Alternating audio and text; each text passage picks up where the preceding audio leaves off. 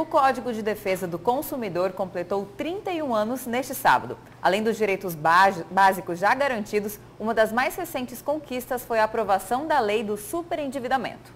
E é para falar sobre esse e outros assuntos que está aqui no Jornal do Meio Dia o secretário adjunto do PROCON, Edmundo Tax. Boa tarde, secretário.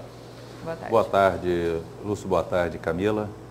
Secretário, é aqui em Mato Grosso, é, especificamente, especialmente aqui em Cuiabá, quem é que dá mais trabalho, hein?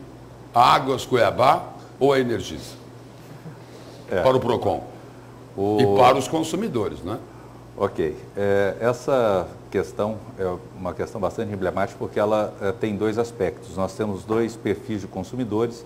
Os consumidores é, que fazem as suas reclamações é, na plataforma consumidor, consumidor.gov, que também é gerenciada pelo PROCON estadual de Mato Grosso, e as reclamações que são feitas presencial, presencialmente no PROCON, que são gerenciadas pelo sistema SINDEC. É, no sistema presencial de atendimento, que é gerenciado pelo sistema SINDEC, aquele onde o consumidor faz o seu agendamento no PROCON e leva então o seu reclame, nós ainda temos a concessionária de energia elétrica do Estado como a mais demandada. É, lembrando que houve um decréscimo nessa modalidade de atendimento de 2020 para 2021 isso em decorrência A de mais série... demandada, só para ficar bem claro, é a mais denunciada pelo consumidor. Exatamente. É, continua sendo a concessionária de energia elétrica, seguido é, por outros, é, outros é, fornecedores, principalmente de serviços financeiros.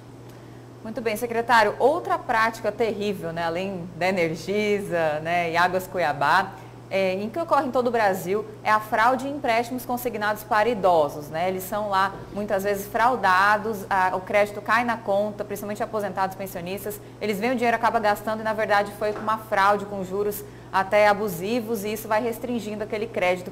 Como é uma é, relação consumerista entre o banco e o consumidor, que é o idoso, como o PROCON tem atuado para combater isso? Camila, é, o ano passado é, foi marcado é, vamos dizer, linhas gerais, os mais demandados eh, no PROCON, somando os dados do eh, SINDEC, que são os atendimentos presenciais, e os eh, feitos por via eletrônica no consumidor.gov, ano passado nós tivemos serviços de comunicação em primeiro lugar, seguido pelos, pelos serviços bancários.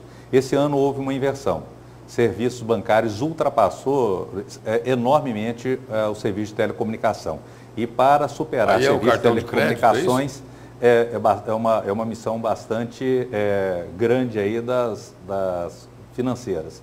Cartão de crédito, banco consignado, enfim, enfim todo tipo de relação é, dos consumidores com o sistema financeiro nacional. É, ano passado, o serviço financeiro esteve em segundo lugar no aspecto geral e esse ano foi guindado já ao, ao número um das reclamações. Isso se deve enormemente às fraudes é, cometidas no sistema é, financeiro, principalmente em relação aos empréstimos consignados e aqueles é, empréstimos com desconto em folha de pagamento. Por vezes confundido com consignado, mas entretanto com ele não, não guarda nenhuma pertinência.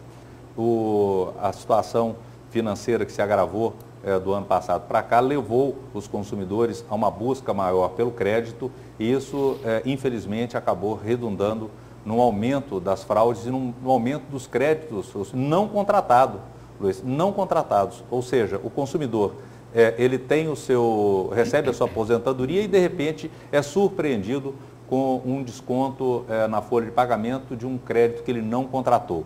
Então, realmente, essas fraudes estão na mira da, da Polícia Federal, que tem diversas ações no Brasil inteiro a esse respeito, mas também é, é, está sendo acompanhado com bastante atenção pelos PROCONs no Brasil Sim. inteiro.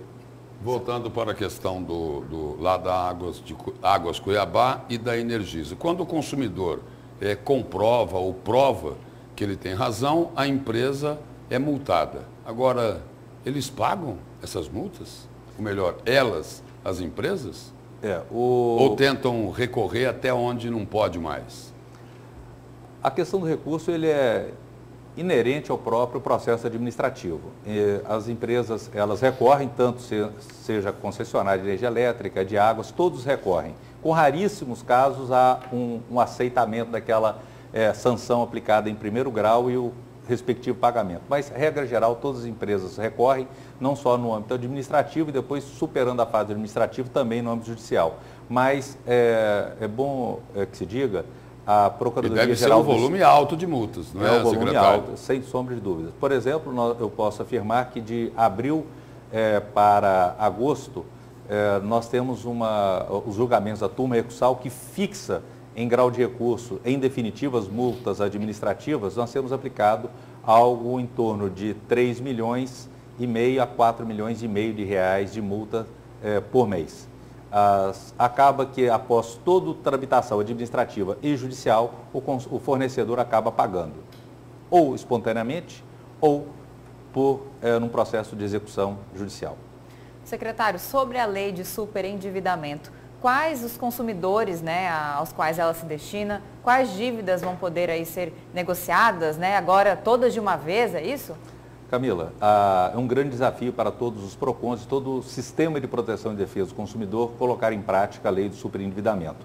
Existem alguns conceitos que são abertos, com, como, por exemplo, o mínimo existencial, o que carece de alguma regulamentação ainda é, por parte do governo federal ou pela Senacom a respeito de que o seja. Esse mínimo existencial é aquela quantia né, em reais que a pessoa, sem a qual a pessoa não consegue viver. Então, apesar das dívidas, tem que ser resguardado esse valor, que vai ser apurado ainda, né? E que não pode ser privado, essa pessoa não pode ser privada dele, certo? Perfeito. É, esse conceito está em elaboração, mas é bom dizer é, que, inclusive, há 15 dias atrás esteve aqui em Cuiabá a coordenadora de assuntos institucionais e relação internacional da Senacom, a doutora é, Maria Cristina, e o modelo que está sendo desenhado pelos diversos órgãos que integram o sistema de proteção e defesa do consumidor aqui no Estado, e dentre eles o PROCON estadual, a Defensoria Pública do Estado de Mato Grosso, o Ministério Público Estadual e principalmente o Tribunal de Justiça do Estado de Mato Grosso, e nós estamos desenhando um modelo é, que, segundo a própria Senacom, hoje é, é um modelo para o Brasil. Estamos em fase de evolução desse desenvolvimento desse, desse modelo, mas com certeza nos próximos meses nós teremos uma solução a ser apresentada para o consumidor. Secretário, obrigado pela presença e pelas informações aqui no Jornal do Meio Dia. Eu aqui agradeço a oportunidade mais uma vez.